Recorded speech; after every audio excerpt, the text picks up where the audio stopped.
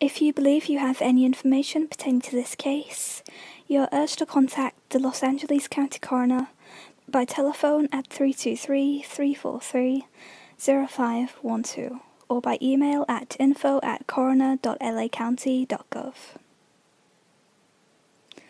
On the 3rd of January 1971, the headless and handless body of a male was discovered in the Angeles National Forest, near the intersection of the Interstate 5 and the California State Highway 14, in Newhall, Los Angeles County, California. I have been unable to locate his cause and manner of death or his exact post-mortem interval, though his death appeared relatively recent. The decedent was of Caucasian and or Hispanic descent, and was thought to be somewhere between 19 and 25 years old, standing at about 5 feet 8 inches tall and weighing about 150 pounds, with brown body hair and numerous tattoos. I know that the images I'm showing of his tattoos are blurry, I apologise, but they're the highest quality I could find. Found with the decedent was a religious medal.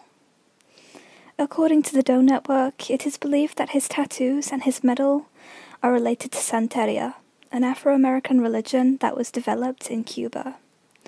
Due to this, it's thought that he may have been Cuban. There is some online speculation as to whether he could have been one of Randy Stephen Kraft's early victims. The majority of Kraft's victims were Caucasian males in their late teens or early 20s, and this unidentified decedent fits that criteria. Kraft often dismembered or mutilated his victims, and this man was dismembered, his head and hands removed. Also, Kraft was known to operate in California, the state in which this man was found. Of course, this is pure speculation. It's entirely possible that he didn't fall victim to Randy Kraft. It's not even certain that he was a homicide victim. As I said, I've been unable to locate his cause and manner of death. In my opinion, at least, this seems suspicious, given that he was dismembered. Though again, I'm not privy to any insider information. I'm not law enforcement or anything, so don't take my word as fact. Alas, this is all the information I've been able to glean. Thank you to Gen Kaneshiro for suggesting that I cover this case. I'd actually never heard of this man before you left your comment.